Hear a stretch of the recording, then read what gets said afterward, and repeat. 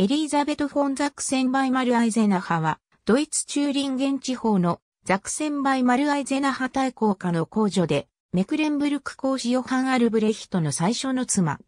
全名は、エリーザベト・ジビュレ・マリア・ドロテア・アンナ・アマーリエ・ルイーゼ。ザクセンバイマル・アイゼナハ大公カール・アレクサンダーと、その妻で、オランダ王ウィレム2世の娘であるソフィーの間の第4子、三女として生まれた。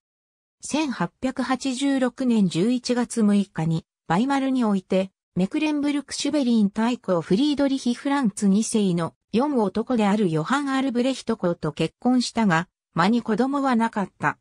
1908年に夫に先立って亡くなると、ヨハン・アルブレヒトは、翌1909年にシュトルベルクロスラ家の子女、エリーザベトと再婚している。1890年に幼い10枚のウィルヘルミナがオランダ女王に即位した後は、警視や老いたちと共に潜在的なオランダ王位、継承候補となった。ウィルヘルミナ女王は1901年、エリーザベトの夫のイボテ・ハインリヒ公と結婚している。